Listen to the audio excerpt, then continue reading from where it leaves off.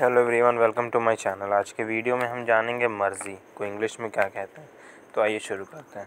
मर्ज़ी को इंग्लिश में माई विश या विल कहते हैं। माई विश या विल एक एग्ज़ाम्पल से समझते हैं, इसे example I am the master of my own will यहाँ विल का मतलब है मर्ज़ी, उदाहरण। मैं अपनी मर्ज़ी का मालिक हूँ। इसी के साथ आज के वीडियो में इतना ही।